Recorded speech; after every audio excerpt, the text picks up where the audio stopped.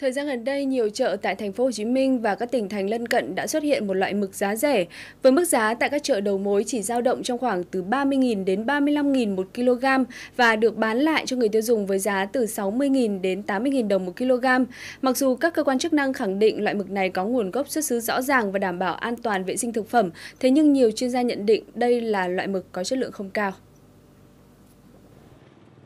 Mỗi ngày, chợ đầu mối Bình Điền tiêu thụ từ 1 tấn rưỡi đến 2 tấn loại mực giá rẻ này. Vì giá thành khá thấp, chỉ bằng 1 phần tư giá các loại mực khác, nên bên cạnh các tiểu thương mua về để bán lại cho người tiêu dùng, thì khách hàng chủ yếu là các bếp ăn tập thể, các cửa hàng thức ăn và các nhà hàng. Loại mực giá rẻ này không chỉ được bày bán tại chợ đầu mối Bình Điền thành phố Hồ Chí Minh mà còn có tại khá nhiều các tỉnh thành khác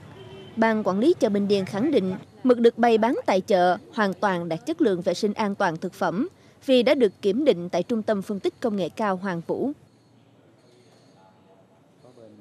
Thông tin từ Chi cục Hải quan cửa khẩu cảng Sài Gòn khu vực 1 cho biết, đây là loại mực ống đông lạnh nguyên con có xuất xứ từ Hàn Quốc, Đài Loan và Indonesia. Đại diện cơ quan thú y vùng 6 khẳng định, 100% các lô hàng này đều được kiểm dịch rất chặt chẽ trước khi thông quan, qua kiểm tra 5 loại vi sinh và các thủ tục cần thiết khác đều cho kết quả đảm bảo về an toàn vệ sinh thực phẩm. À, à, lý do do mực chẻ là hiện nay cái chất lượng của nó qua mà cảm quan mình ăn á, phần lớn á, là đánh giá là nó không ngon nó không ngon so với là à, mực ở Việt Nam mình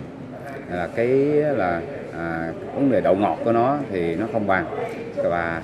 và nó có thể là ăn nó không ngon không dai giống như cái độ mà tươi của mực Việt Nam mình thì à, cái giá nó rẻ hơn.